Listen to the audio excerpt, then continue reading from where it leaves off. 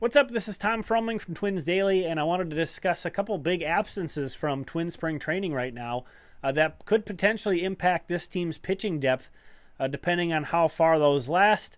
Uh, let's get right into it.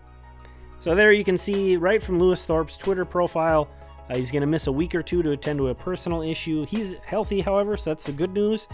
Um, we're going to respect his privacy. Not sure exactly what's going on, but uh, you know, wishing him the best with that. It's nice that he's been afforded that opportunity uh, to attend that issue. Uh, nice move by the Twins there.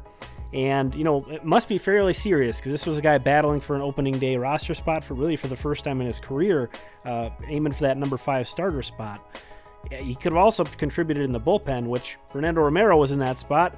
He might miss all of spring training, as you can see there from Do-Hyoung Park. And, you know, what's going on there? We have even less to go off of. Uh, Romero made it to Florida, uh, so his visa was fine to get to America, but there was a customs issue once he got here and was shipped back to the Dominican. Uh, so, very mysterious situation there. The Twins aren't sure if he's going to get any time in spring training, which is huge because, much like Thorpe, Romero was really battling for one of the last roster spots. So what I have here is the Athletic, Dan Hayes, Aaron Gleeman. This is their most recent roster projection. Go and subscribe to the Athletic if you haven't already. Uh, but they have Jhoulys Chacin now penciled in as the fifth starter.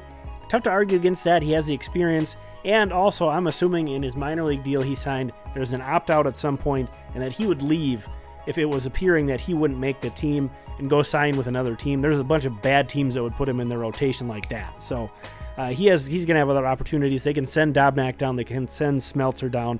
I don't think they can do that with Chacin. And here again, uh, Dan Hayes, Aaron Gleeman's bullpen prediction. You can see Romero on the outside looking in. Uh, Cody Stashak taking the last spot with Matt Wisler in there. A thing to always keep in mind with Wisler, the guy who they claimed off waivers, is that he's out of options. So again, they would have to expose him to waivers uh, if they weren't to put him on the opening day roster.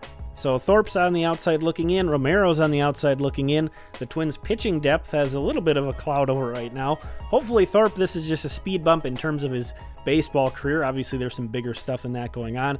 Romero, I don't know. Who knows what's going on with him?